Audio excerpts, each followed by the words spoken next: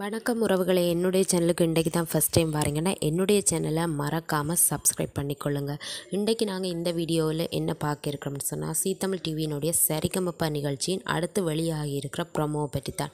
வருகிற வாரம் தீபாவளி கொண்டாட்டமாக சீனியர் மற்றும் ஜூனியர்ஸ் சேர்ந்து பாய்ஸ் வர்சஸ் கேர்ள்ஸ் ரவுண்ட் நடக்க இருக்குது. அண்ட் அதோட ஃபேமிலி அண்ட் ஃப்ரெண்ட்ஸ் ரவுண்டும் நடக்க இருக்குது.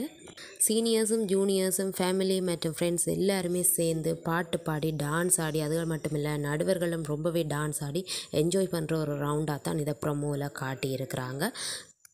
அசானி சீனியர் சியாமலாவோட சேர்ந்து பாட்டு பாடினது காட்டியிருக்கிறாங்க. கட்டவண்டி கட்டவண்டி என்ற பாட்டை தான் இவங்க பாடியிருக்கிறாங்க. மலேசியா வாசுதேவனால் பாடப்பட்ட இந்த பாடல் கமல் மற்றும் அம்பிகா நடித்த படத்தில் வெளியாகி இருந்தது. சியாமலா இந்த பாட்டை கொஞ்சம் மாடுலேஷனை மாற்றி பாடியிருந்ததை காட்டியிருந்தாங்க.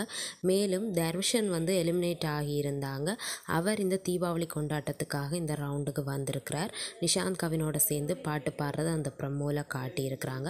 அது மட்டும் இல்லாமல் ருத்ரேஷ் கூட தன்னுடைய ஃபேமிலியோடு சேர்ந்து பாட்டு பாடுறத காட்டியிருந்தாங்க.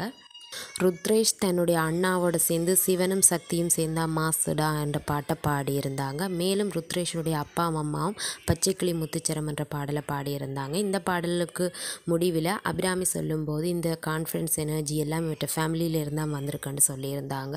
சைந்தவி மேம் கூட இந்த ரவுண்ட் ரொம்பவே கவிதையாக இருக்குதுன்னு சொல்லி சொல்லியிருந்தாங்க. அது மட்டும் இல்லாமல் கில்மிஷா ஆரோட சேர்ந்து பாட்டு பாடுறாங்கன்னா சீனியர் நாகார்ஜுனாவோட சேர்ந்து தான் பாட்டு பாடுறதை காட்டியிருந்தாங்க. ஆனால் என்ன பாட்டு பாட இருக்கிறாங்கன்னு சொல்லி தெரியல.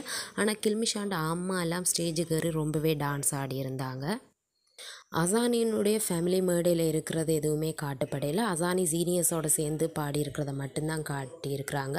அடுத்தடுத்த வீடியோக்களில் அடுத்தடுத்த ப்ரொமோக்களை பற்றி பார்க்கலாம். மேலும் இது போன்ற என்னுடைய காணொளிகளை காண என்னுடைய சேனலை மறக்காமல் சப்ஸ்கிரைப் பண்ணி பக்கத்தில் இருக்க பெல் ஐக்கோனையும் கிளிக் பண்ணிக்கொள்ளுங்கள் அப்போ தான் நான் போடுற ஒவ்வொரு வீடியோக்களும் உங்களை வந்து சேரும். நன்றி வணக்கம்.